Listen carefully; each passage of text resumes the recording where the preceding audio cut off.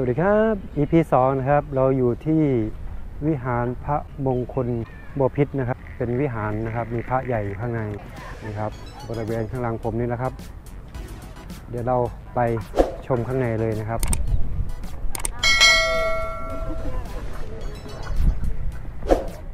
ใหญ่โตครับเป็นวิหารนะครับ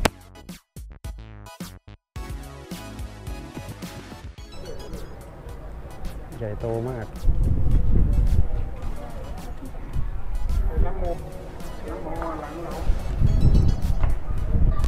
ขึ้นไปบริเวณข้างบนนะครับ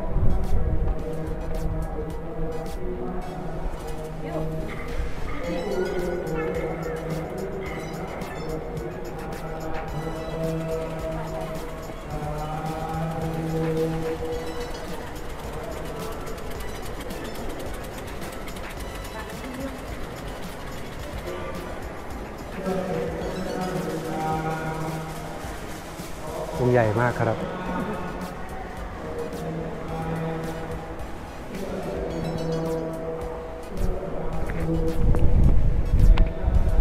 นี่ครับเป็น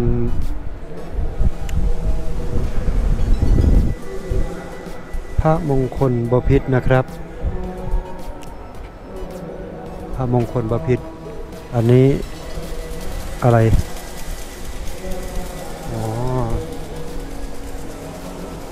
ช่อฟ้าเอก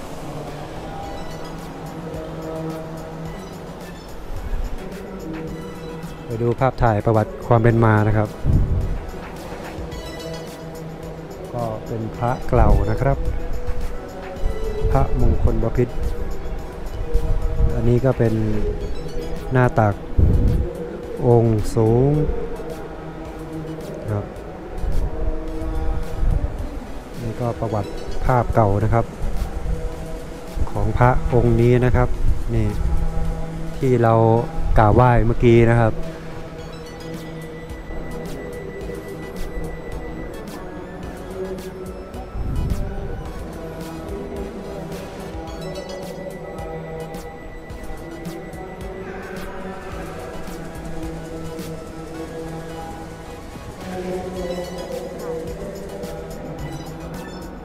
ใหญ่โตมากครับ นี่เป็นด้านหลังนะครับ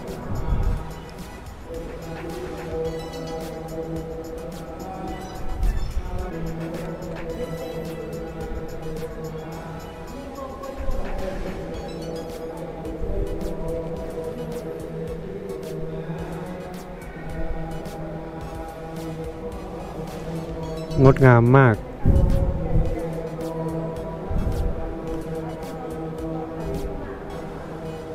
อันนี้เป็นเสียนพระ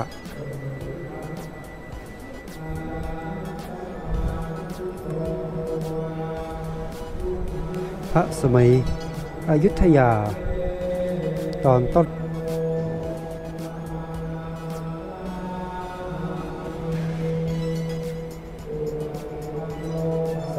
าธุ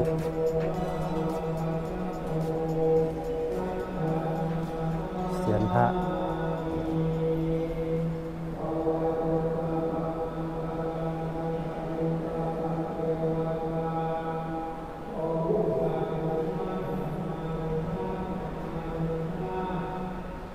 อันนี้ก็จะเป็นด้านข้างนะครับ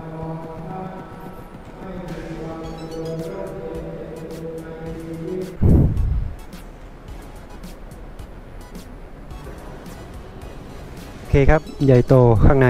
พระงดงามมาก เดี๋ยวเราไปเดินไปดูที่อื่นนะครับ ว่ามีอะไรบ้างนะครับ ไปกันเลยครับ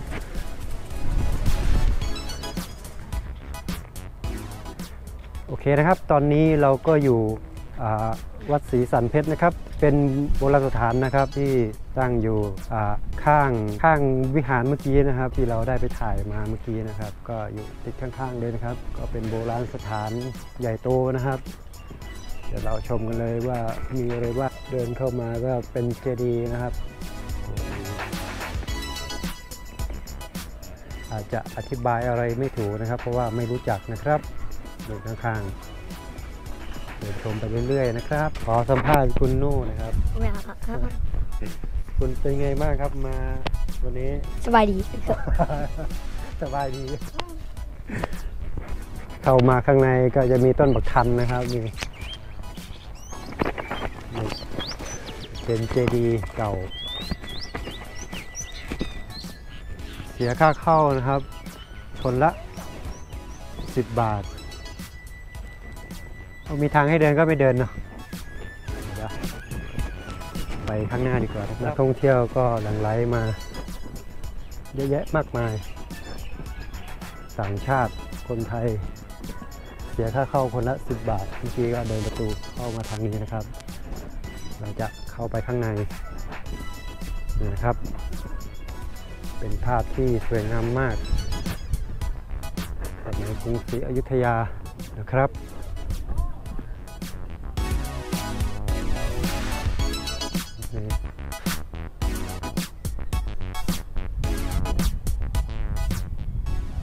ห้ามใส่สั้นนะครับมาห้ามใส่โป๊มานะครับ ในพื้นที่แห่งนี้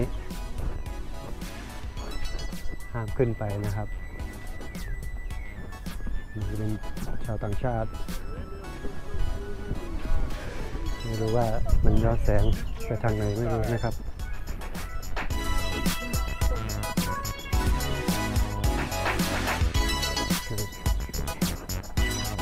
สวยงามมากไม่รู้ว่าสมัยตะกอนนี่เขาสร้างขึ้นมาได้ไงนะครับ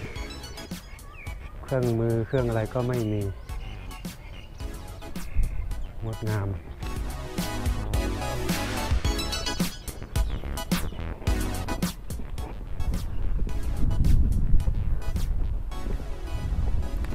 บริเวณข้างนอกนะครับ ก็จะมีช้างให้นักท่องเที่ยวขี่นะครับ เป็น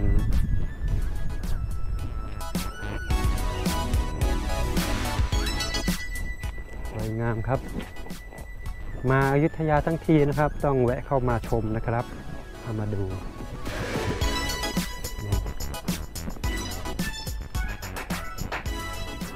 ต่างชาติต่างชาตินี่ชอบมากเลย ถ่ายรูปที่ถ่ายรูปเยอะแยะสวยงามเราจะเดินไปรอบๆนะครับ ผมก็ไม่รู้ว่าจะ อธิบายยังไงนะครับ เพราะว่าผมไม่รู้จักอะไรเลยก็ส่วนมากก็จะเป็นเจดีนะครับ เจดีบางเจดีก็สมบูรณ์ บางเจดีก็ได้ชำรุดนะครับ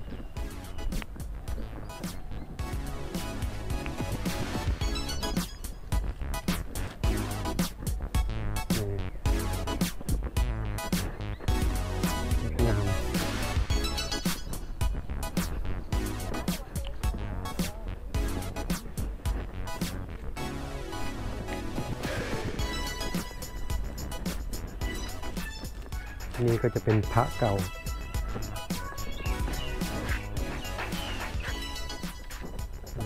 ที่ได้ชำรุดลงมา อันนี้ก็เป็นส่วนของพระนะครับชำรุดหักลงมา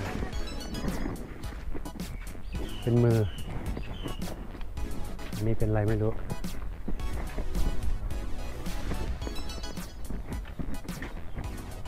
เดี๋ยวเดินดูเรื่อยๆ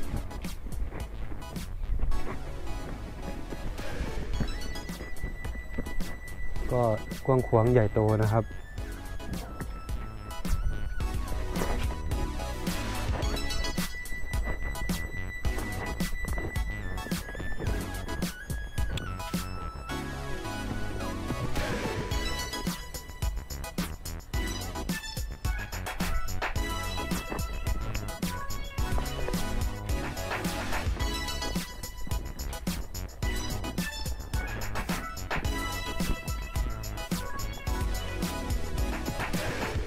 งามเลยทีเดียว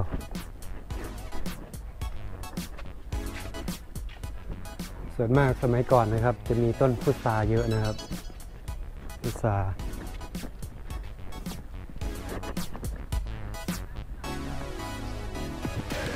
ใหญ่โตครับ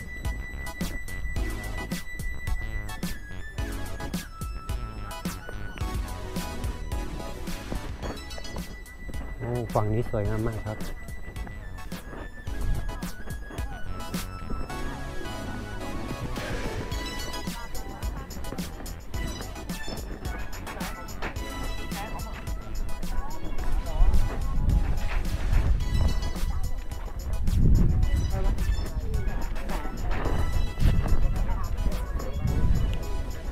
นี้มันจะย้อนแสงหรือเปล่านะครับ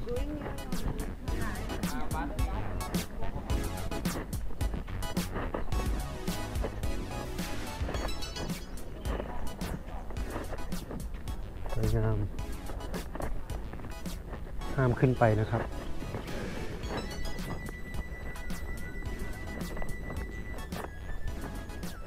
สมัยก่อน โอ้หน้าคนไทยเก่งนะครับ สมัยก่อนไม่มีเครื่องมือไม่มีอะไรก็ สามารถสร้าง ให้ใหญ่โต ขนาดนี้ได้นะครับ เจดีย์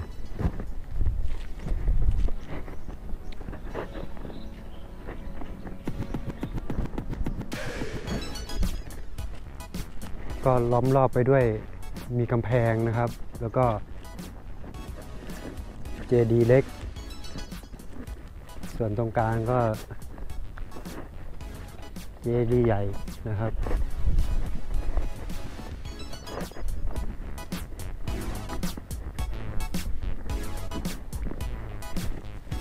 งดงาม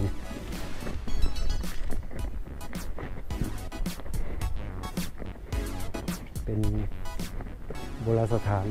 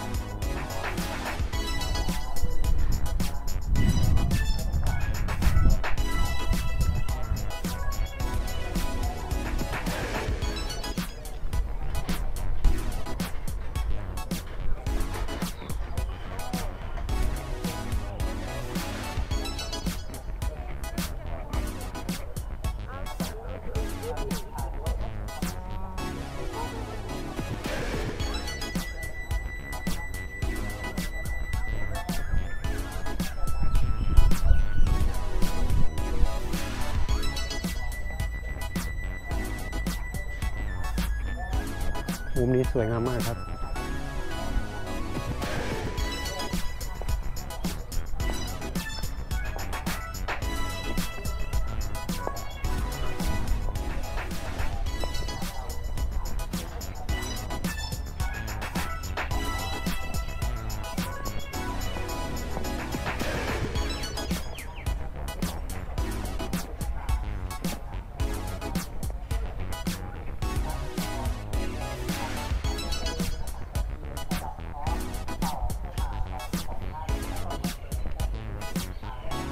พุทธรูปเรา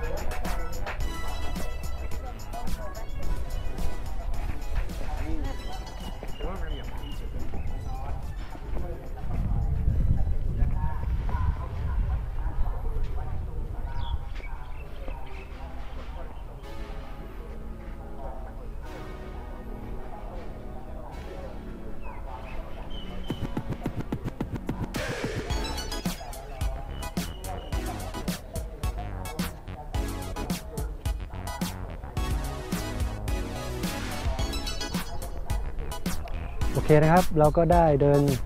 ทั่วบริเวณแล้วนะครับ งดงามสวยงามมากครับสำหรับโบราณสถานแห่งนี้นะครับ ที่อยุธยานะครับ โอเค EP ต่อไปเราจะไปวัดไหนนะครับ คอยติดตามนะครับ ไปกันเลยเจอกัน EP ต่อไปครับ